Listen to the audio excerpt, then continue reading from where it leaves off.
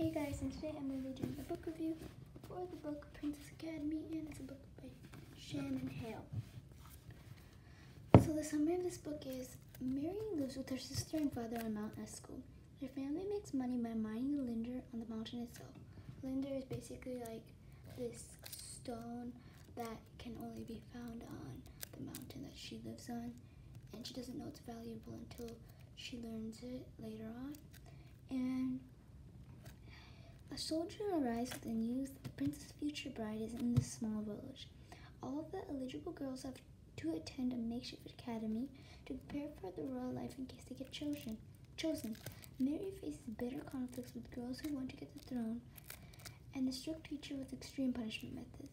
Then Mary learns the secret of Mount Eskel, and when the school is in grave danger, it's up to her to save it. So that was basically the summary of this book. And what I liked about this book was it was very unique and the author did a good job of describing and pulling the readers into a book.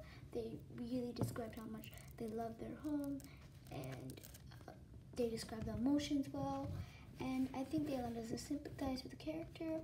And the author had a really good idea with this book, and I think they put it into this book and put all their effort because it really showed. And this is the same author of the Best Friends book, and I'll link that book review in the description down below. And I think I really liked the ending. It was kind of surprising actually, and I feel like she was actually really a person to look up to. She was a role model in this book. I think that they did a really good job with the ending. Uh, what I didn't like, there was one small choice that she made. I didn't like it I think that the choice is supposed to signify that she loves her home and she loves her family. She loves everything about them. But really, it just seems like a bad choice. I mean, whoever wouldn't choose that choice, I know she chose, gave the choice, the, the opening to another girl who really wanted it. But if the person asked her, why didn't she take it?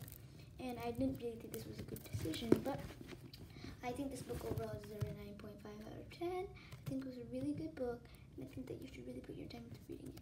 Please like, comment, and subscribe. And if you want, tell me what your favorite book is, and if I should do a review on it down below.